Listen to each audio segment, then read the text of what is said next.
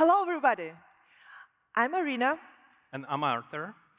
And we are the CEO and product designer from Evil Martians, which means that we came all the way from planet Mars to our temporary homes at, in San Francisco. And Poland, Warsaw. And all in order to talk to you about color. What does color do to us all? Well, first of all, color draws attention. Um, and we use this feature of color to our advantage every single day. The yellow of this bus immediately tells everybody on the road that this is a very special vehicle, right? And the same goes uh, about green exit signs right here, uh, red fire extinguishers, orange construction vests. This is what we know and use. But this is not all. Color is powerful. Color is uniquely positioned to affect us deeply and emotionally. And Mark Rothko definitely knew everything about this. But what about digital color? Well, digital color is getting more and more powerful as well. Just think about it. The color that we've known and used for decades, this is your very familiar hex thread, is getting more powerful because today we can use this thread in P3 space. Can who can spot the difference? Perfect. I'm sure everybody, everybody in, in this room can spot the difference. So does it mean that now that we have access to more vivid colors, does it mean that we use more color in digital world? Well, not exactly. This is just one, one illustration of this trend. This is the color of physical objects from the Science Museum in the UK. But we see the dynamic is a little bit concerning. There's more and more gray and blue, but less, fewer of the other colors. In the last two decades, this trend is actually accelerating. We're getting more and more grace. And think about the web. Are we using more color or less? Just ask it yourself. So, are we, are we seeing the loss of color? Um, let's think about the 90s. Let's think where it all started. Who's been building websites in the 90s? Okay, not, not, not too many. Uh, so this is the official WinZip website from 1996. My question is, maybe we were burned by the use of color back then? And remember, we only had 256 safe colors back then. And yet, we used color, colored fonts, we used different, different shades, maybe a little bit recklessly, but maybe a little bit dangerously, but also definitely much more freely. So there is one place where we still use colored fonts today, a lot, every single day. What's this use case? Where we're using uh, colorful fonts, not just black, 90% gray, and stuff like that. This is our code. Look into the IDEs. Uh, engineers care, and we we all care a lot about the colors, color themes in our code. So this actually makes me think, makes me believe that we want color, that we want to use the power of color. So what if we simply don't have good enough tools to use the color efficiently, to program the color. And what if we'll give you these tools today, tonight, in the next 15 minutes? Arthur? Thank you, Irina.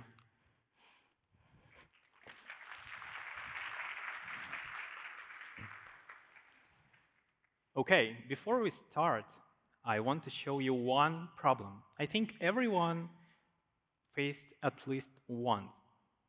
So, I want to ask you, I want to show you this problem and ask you, how would you approach this? So, let's say we have a brand color, in this case, blue. And we have a UI system that we need apply this color to. Well, the first button is easy. We are just coloring it blue. But what with the others? You know, we should color it red and green. And you see, I want to get the exact same green as my blue and the exact same red as my blue. I want to get perceptual uniformity. I want to be them, I want to be, I want to have them cohesive, right? And so what we can do with this, right? We can open a color picker. We have a hue slider just for that. Let's do this. Okay, something went wrong. can you notice? The red is too dark compared to our blue and the green is too bright. Moreover, it's not accessible. You cannot read the text on it, right? So how can we achieve something like this, right? How can we make them cohesive? How can we get perceptual uniformity? I think I have an answer. And the name of this answer might not be really easy to pronounce, it is called OKLCH. OKLCH, right? And today I'm excited to walk you through all the benefits and all the uh, benefits of this color model and showcase the tools we've been developing for the past five years. Okay, let's do this one more time. So, how do we think about color? Make it lighter increase saturation, or change the color. But here is what we have in our tools. Can you make it lighter? Can you increase saturation? Can you at least tell what color this is? Anybody? Okay. It's orange. and you see, OKLCH is really good here. OKLCH is not a new color model, but it's also a new way of describing this color. So let me explain what LCH means. L stands for lightness. If you increase it, you get more lighter orange, or by decreasing it, you're getting, well, darker orange. And C stands for chroma. By increasing it, we're getting more saturated orange. And by decreasing it, we're getting less saturated orange. And H stands for hue. Well, it's basically a rainbow. And notice that while I'm changing the parameter here, other two, lightness and chroma, are not changing. They're locked. And they stay consistent. So let me walk you through all the practical benefits of OKLCH and why do you need to use it? So first one is the cohesive colors. This is the main benefit of OKLCH. You see OKLCH colors, all the derivatives from OKLCH colors feels like one family, while using hex results in inconsistent palette. Now we can have the exact same green as the blue and the exact same red as the blue. And this means we have really, really good color accessibility. So here, for example, we have a violet button. And I'm changing the hue parameter and getting this really good green button. It's accessible and feels like from the same family, while changing the hue in the hex results, well, in the low contrast. This means that you can enable themes in your product really easily. Colors are just predictable. Here in this demo, I'm changing the hue parameter, and everything stays accessible. Note how text on the left sidebar is readable. And dark theme is easier than ever. You just have to mirror lightness and keep chroma and hue the same. Here in our demo, you can see I'm changing the hue, and everything stays readable and beautiful. Do you remember the format of OKLCH? Let me re remind you. Um, so here is what we can do with it. We can do basic math.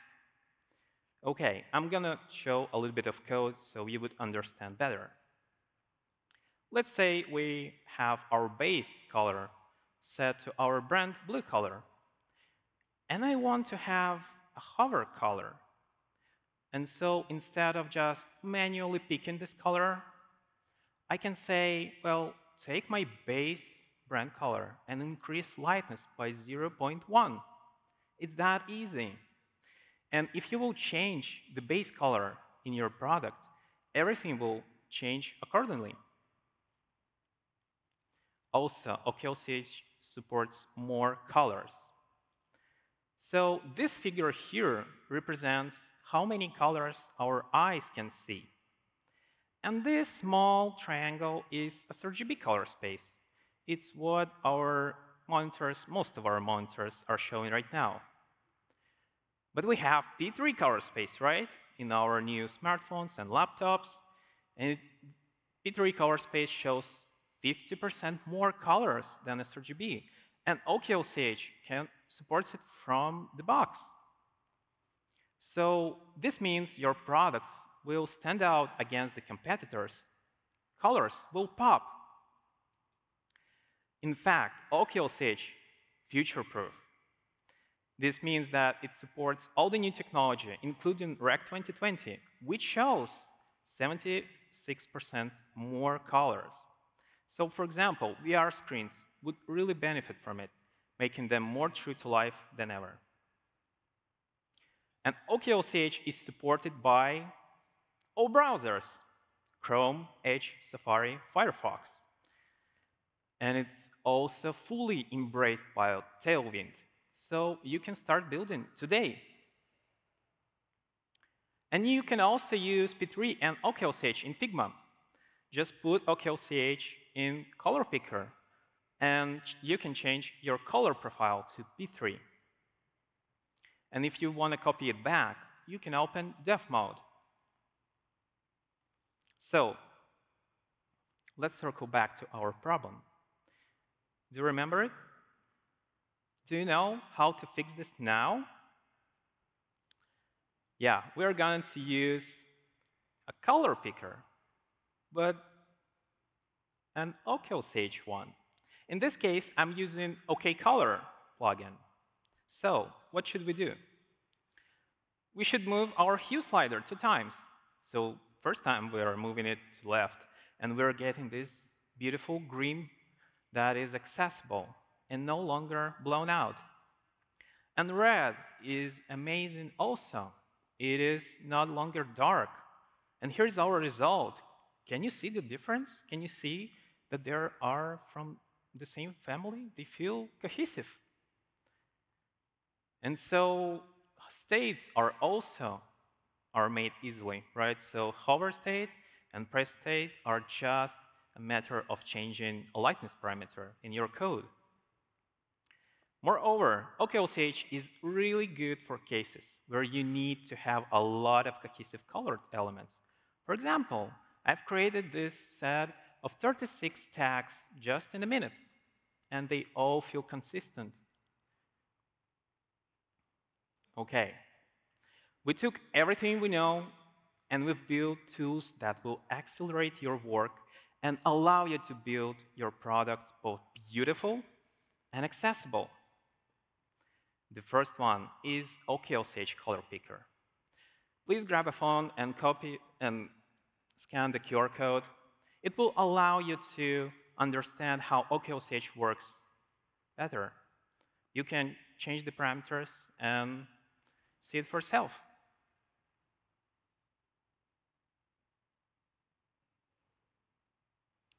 And second, the project starter. It allows you to choose the closest color to your brand color and generates variables for all your basic primitives, colors for text, borders, surfaces, buttons. Please check it out also.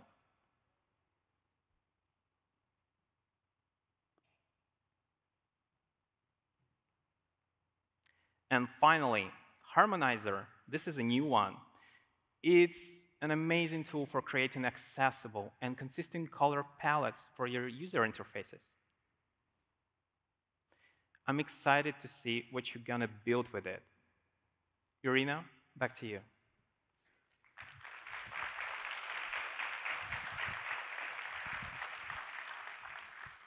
So this is not all. This is the whole suite of tools, content uh, that we mostly we created um, and other people as well in the community in the growing OKLCH ecosystem that we all we want you to use, to leverage, and also to contribute to.